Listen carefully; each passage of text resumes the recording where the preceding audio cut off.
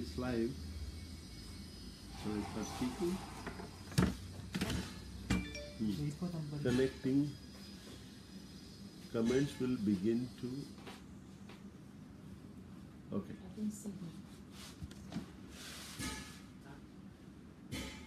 Good morning. Uh, how are you?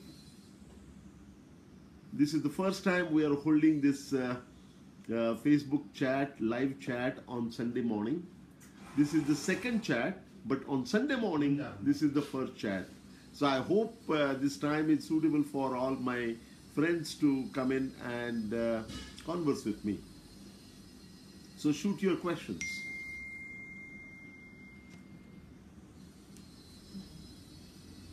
So why don't you speak on Dalit issues? Ah, something is coming. Uh, Mr. Helaskar is saying good morning, sir. Uh, Suraj Prakash is also saying good morning. I'm good. Sundara Jadhav has joined. Uh, uh, please ask your questions. I'm looking forward to questions from you. Swapnil Ingle uh, is there. Uh, good morning, Swapnil.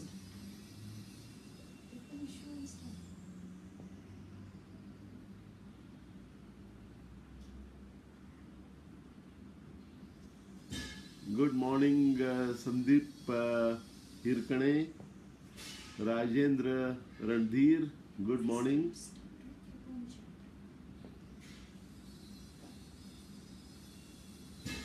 Please ask questions. I'm here to answer your questions. Okay, finally, there is a question uh, from Rajendra Randhir. Being the member of parliament and as an economist, how do you see the recent changes in calculation of inflation and GDP growth rate? Uh, as far as the inflation is concerned, let me talk about this. As far as the inflation is concerned, there are two ways of measuring inflation. One is uh, WPI, that is the wholesale price index, and other one is uh, CPI, that is consumer price index. We have increasingly been moving towards CPI, the consumer price index, because that is connected with the basket of uh, commodities which are consumed by people at large. Um, and CPI inflation is uh, at um, its uh, uh, highest level in last 22 months. It is at 5.77%, and that is a cause for concern.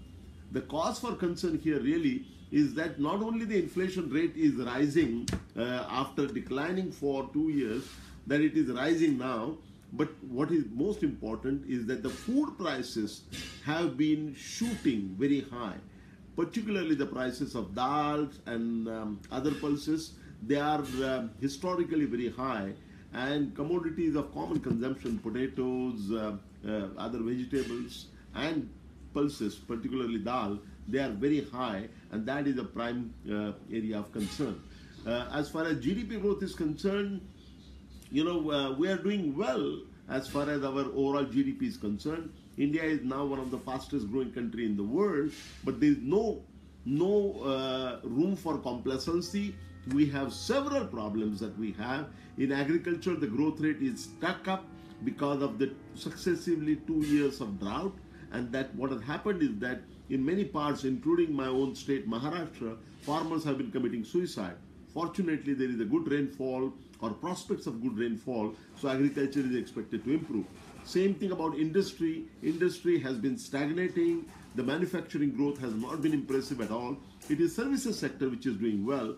Our while our overall growth rate is very impressive, uh, there are very serious problems and major challenges that we have to face. Uh, what will be the good books on Ambedkar? Suraj Prakash Singh has asked this very good question. What will be good books about Dr. Ambedkar? Well, friends, uh, I, uh, I have written extensively on Dr. Ambedkar. In fact, I have written 21 books on Dr. Ambedkar now, uh, 8 in Marathi, uh, 8 in English, 9, uh, 9 in Marathi, 8 in English, and 5 in Hindi. Um, of these books, uh, what is most important is that there is an intellectual biography of Dr. Baba Sahib Ambedkar. And um, there are three volumes of Dr. Ambedkar's speeches.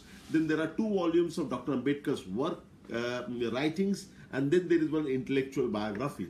you should take a look at all this, and they are available in English, in Marathi, and in Hindi. So these are, I believe that, in fact, the book that I have written, uh, an intellectual biography of Dr. Ambedkar, uh, is the most comprehensive book which which gives traces the evolution of Dr. Ambedkar's thinking over a period of time and the various policy stance or stances that he took at various points of time. Uh, it uh, gives the uh, the logic and reasoning behind that. So it is the first ever intellectual biography of Dr. Ambedkar. Please do take a look at it and that has been uh, uh, lauded, applauded uh, very much.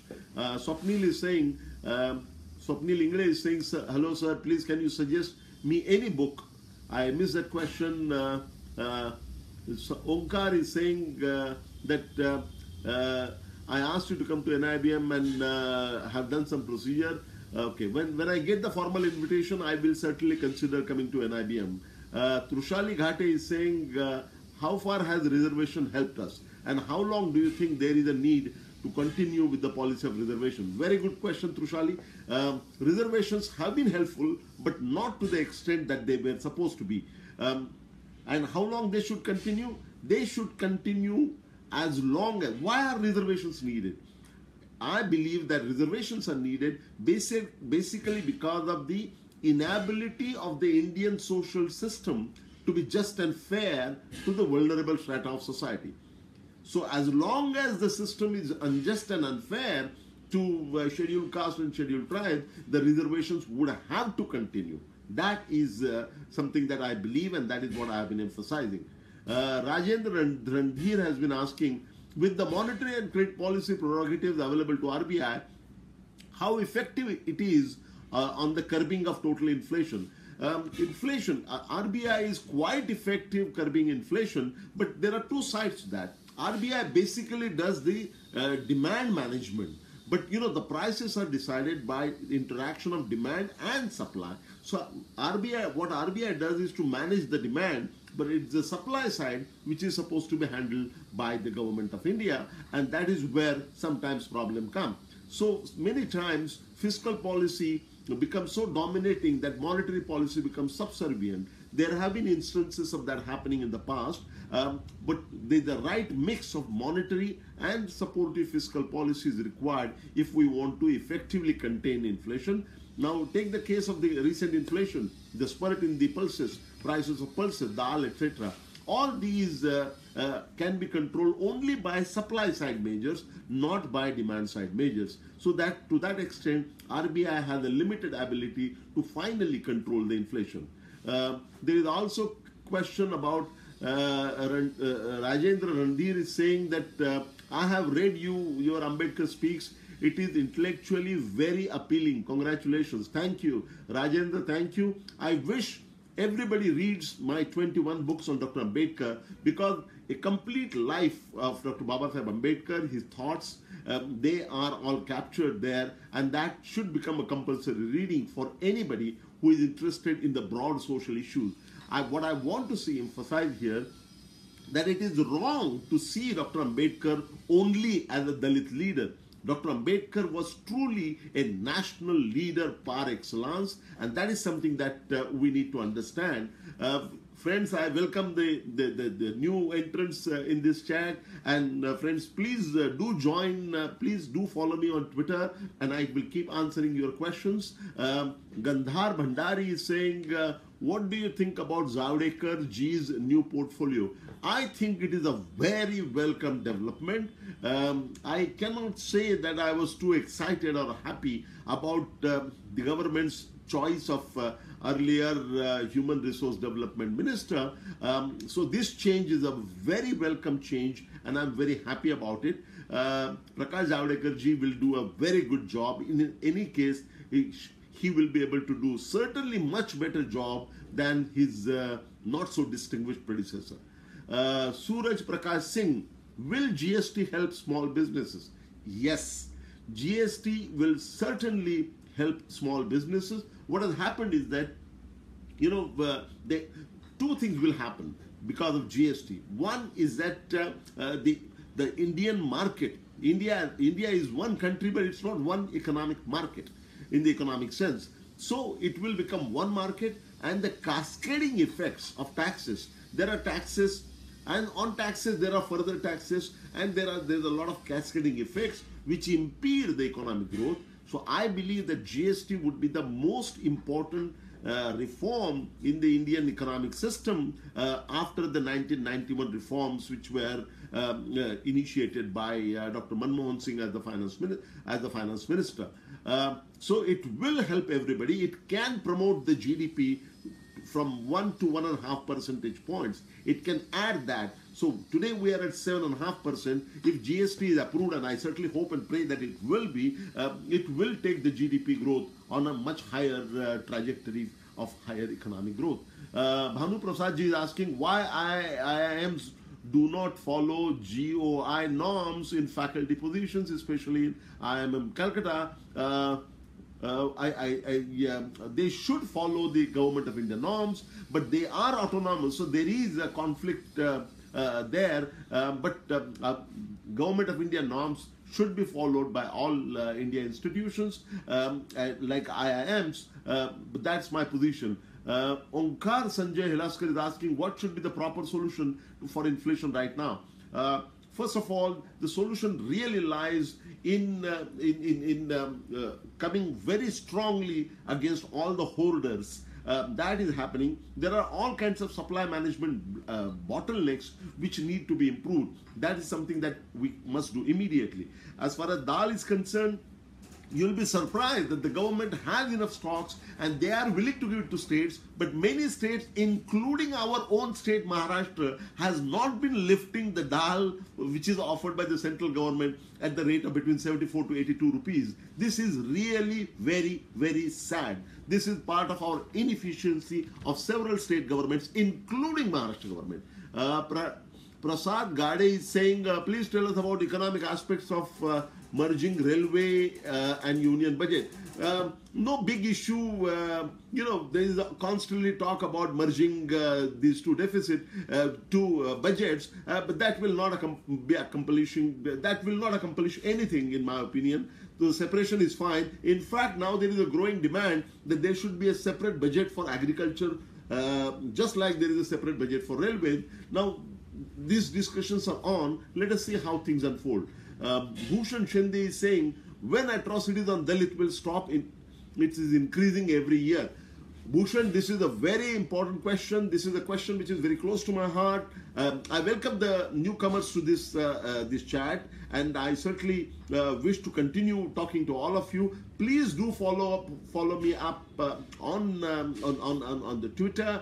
And uh, Bhushan, coming to your question, uh, Dalit atrocities have been going on for long and and the, what has happened in Una and Gujarat is most despicable and dastardly act, and uh, we have to condemn it, condemn it with everything that we have.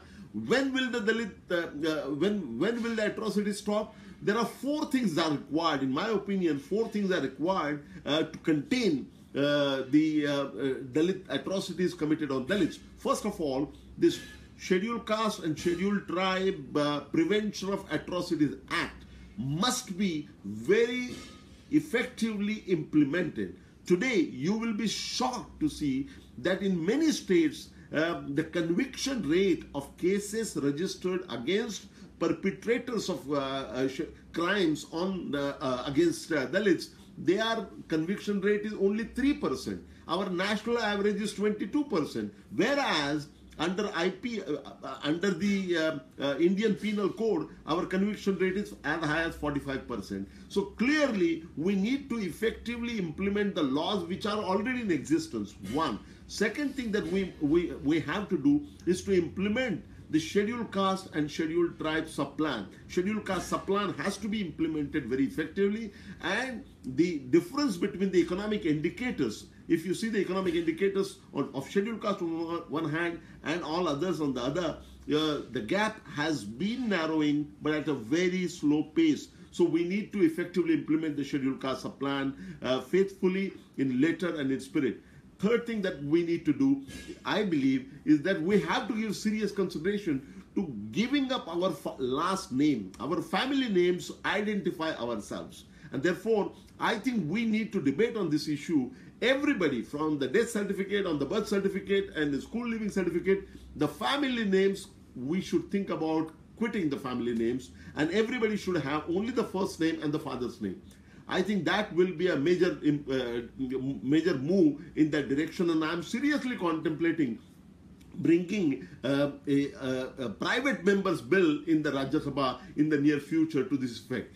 Fourth thing that we must do, a government must do, is to encourage uh, very strongly the intercaste marriages. So there are lots of things that need to be done, but most importantly, effective implementation of the acts which are already available uh, in terms of uh, uh you know uh, prevention of atrocities against scheduled caste and scheduled tribe. Those must be done immediately. And to begin with, the action as far as the Gujarat Una incident is concerned, the stringent possible action must be done, taken on a fast track, and that should be made a case, an example to demonstrate what would be the implications of anybody perpetrating atrocities on Dalits and other people.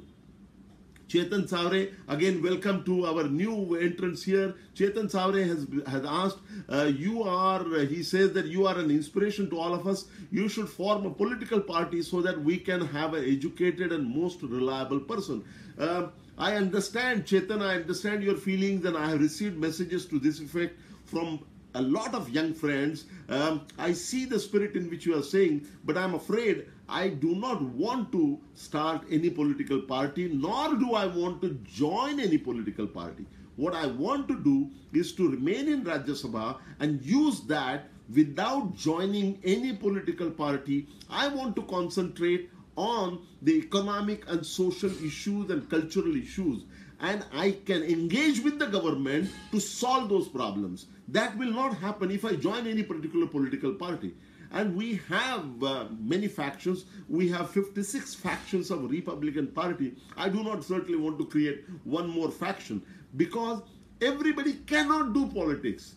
Politics go, has gone into every field, but people like me should rise above that and focus on economic and social issues and remaining within the government framework, try to bring about the change which is desirable for Dalits and for other people. That is my strategy, and so far the strategy is working very well. Um, uh, I again welcome many more friends who are coming online. Jamshed uh, uh, Bhagwagar says that why don't we pass a bill uh, of nobody can contest an election if he is I'm sorry, what will be then? The, I, I missed that question. Uh, Mihir Asha Kisan Bhoir is saying that, sir, with UP election on face, uh, uh, the question is cut there. Uh, UP elections are there, but I'm uh, of uh, Rajendra Randhir is asking.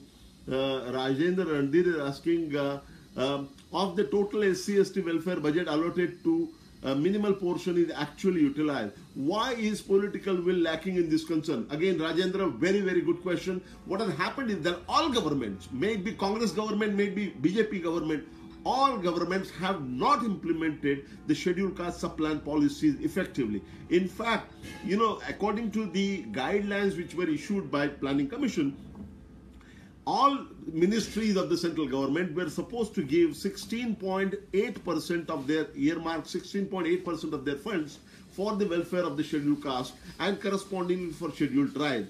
That has almost never happened. In 2009, when I joined the Planning Commission as a member, uh, among other things, I was in charge of scheduled caste plan as well, and um, I I pointed out to the Prime Honorable the then uh, Prime Minister Dr. Manmohan Singh that you know we cannot go on taking credit for a scheme which has not been implemented. For last 40 years, this scheme has not been implemented. Either we should implement it effectively or close it down.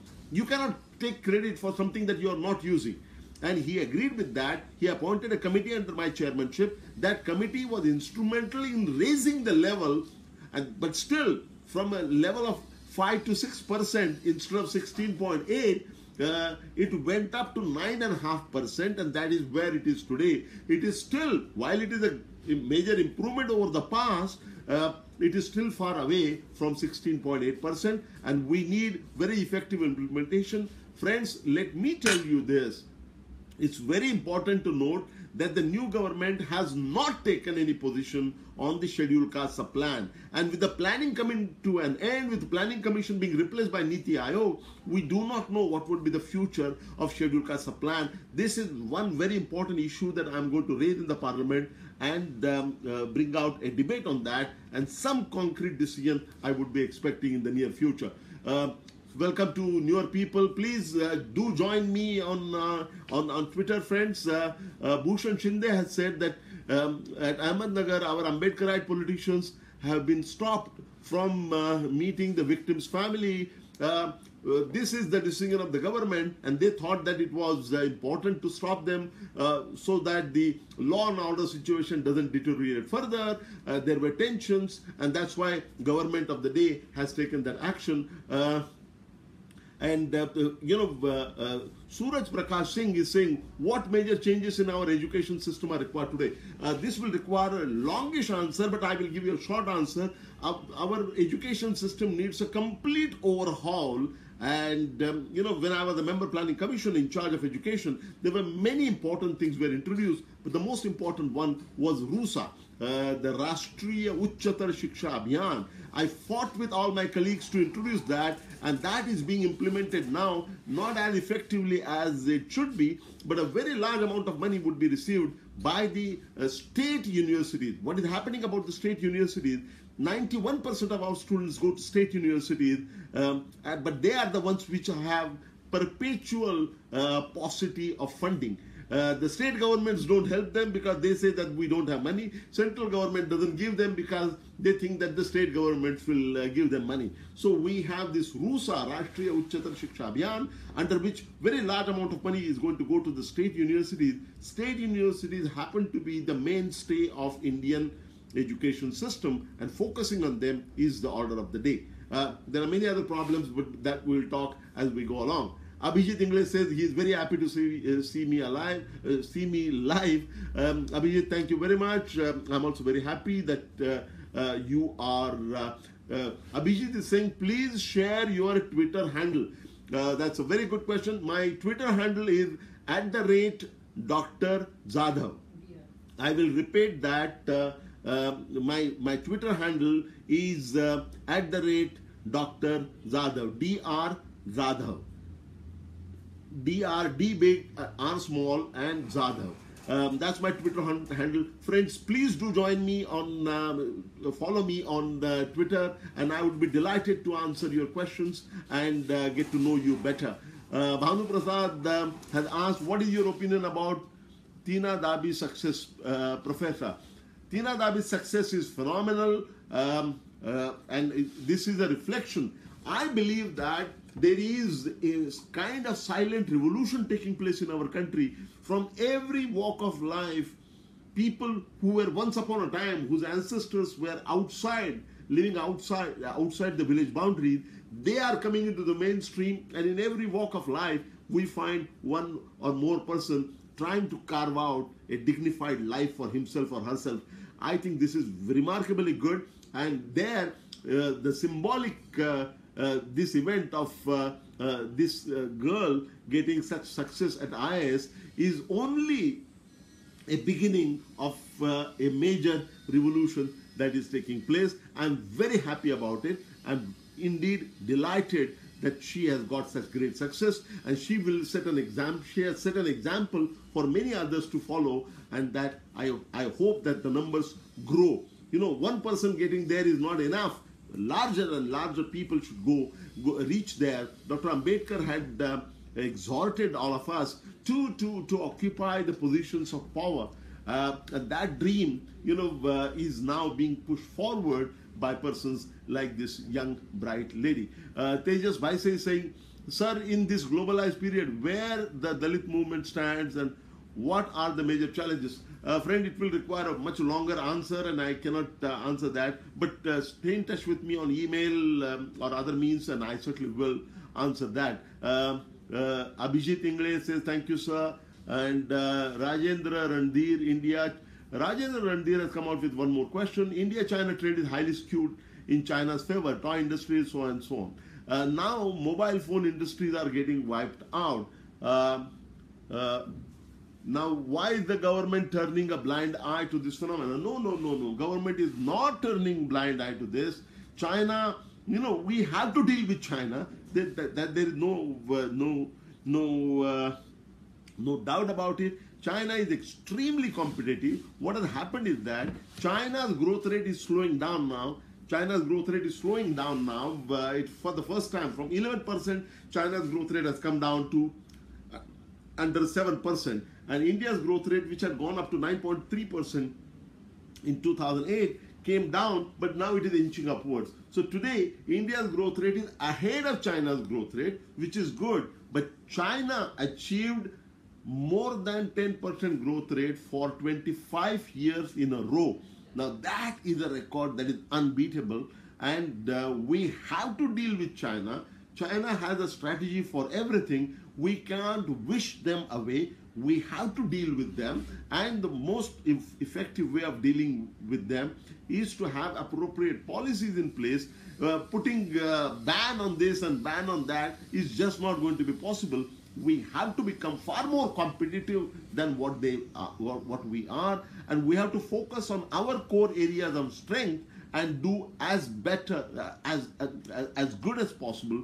I think we'll have to face the competition with china uh, what are, what is happening is very unfortunate when we see uh, many of the indian icons also produced in china uh, that uh, hurts. And that hurts many people. I think the best way is to become remain and become more and more competitive. And therefore appropriate policies would have to be followed there. Uh, Onkar, that's okay, that's okay. Uh, there is uh, Suraj Prakash Singh, uh, China's One Belt, One Road program looks good. Uh, what should be India's stand to? No, India has, uh, we, we don't have to copy anybody, but we have to pick the best that many countries have done and try to, uh, try to modulate that, try to change that, keeping in mind the socio-economic political circumstances in our country. Uh, Vishwanath Bane has asked, happy to see you and hear you, sir. Vishwanath, uh, very nice to uh, uh, nice, nice to talk to you. You were working with me once upon a time. I'm very, I'm very glad to see you. Uh, IMF has, uh, Rajendra Randhir has been saying that IMF has predicted bankruptcy of Saudi Arabia in five years from now if the current global oil market scenario prevails.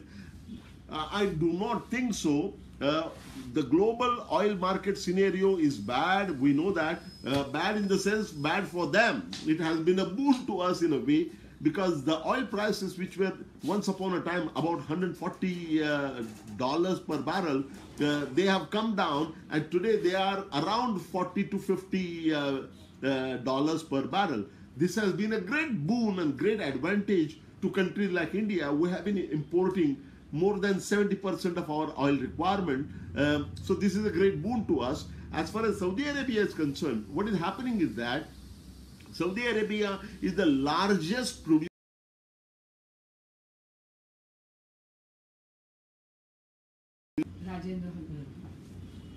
Uh, I'm back here. Um, we were talking about Saudi Arabia. That's a very interesting question.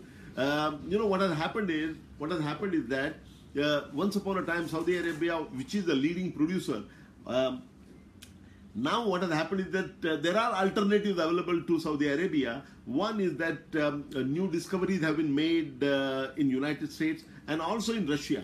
So what has happened is that the global oil market is being divided and um, one reason to be, if Saudi Arabia wants the oil prices to be raised, they can do that immediately by reducing their production of oil.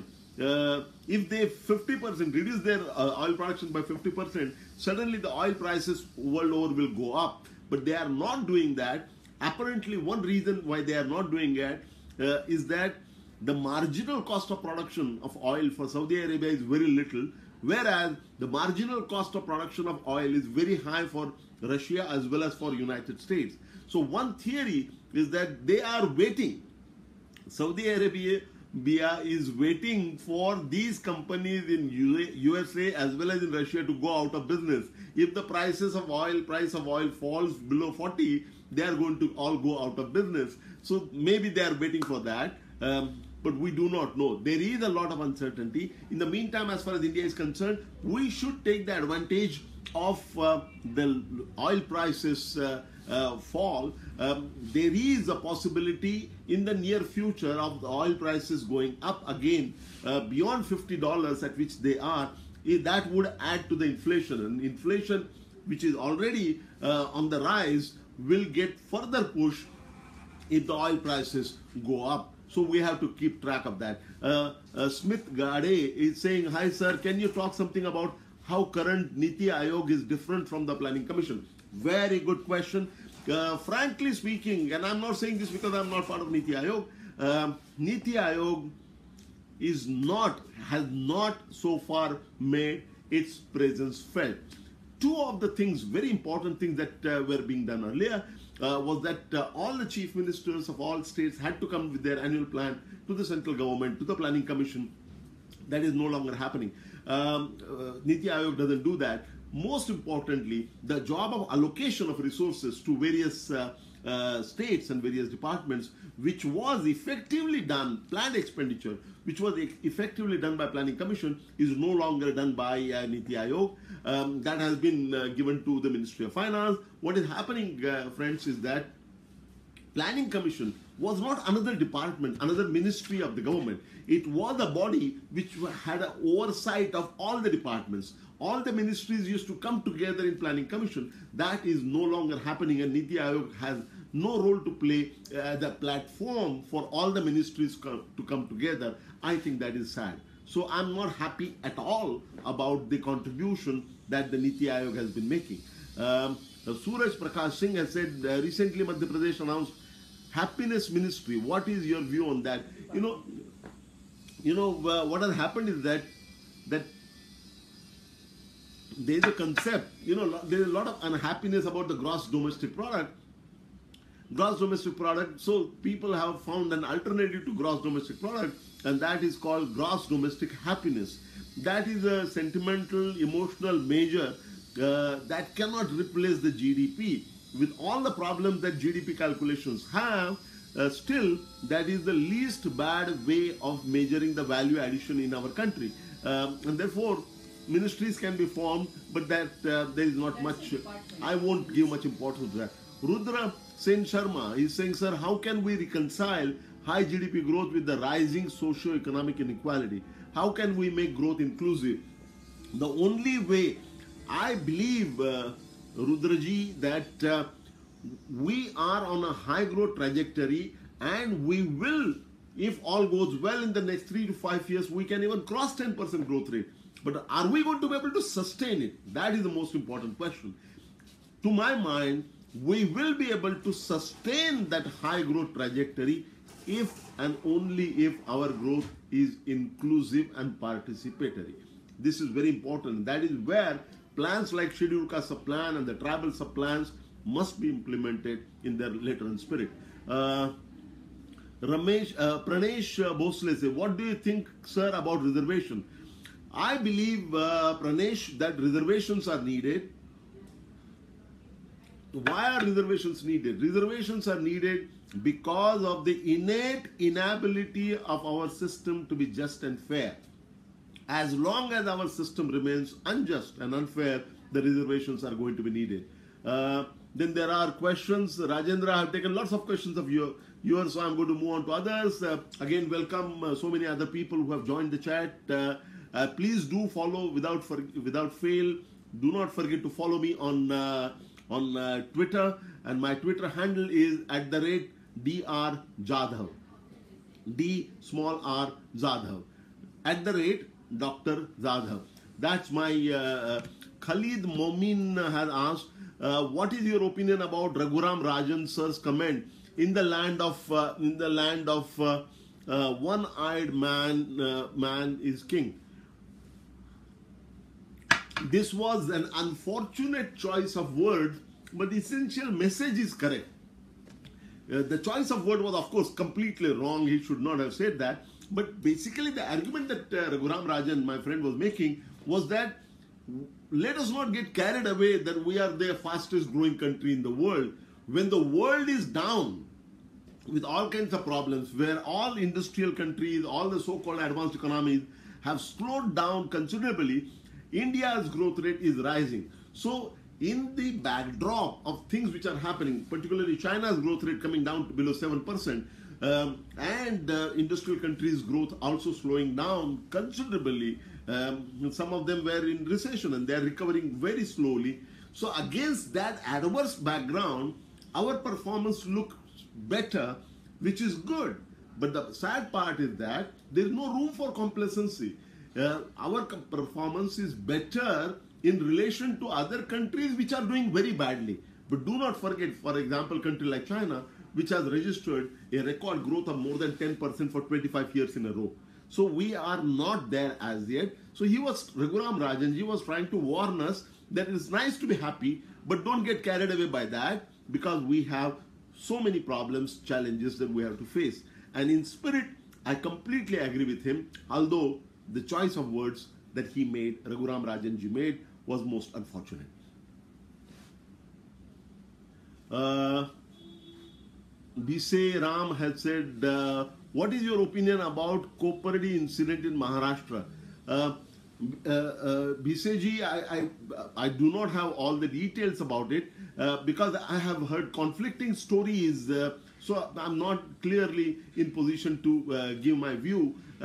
Uh, but anything that happens which has connotation of caste has to be handled very, very carefully.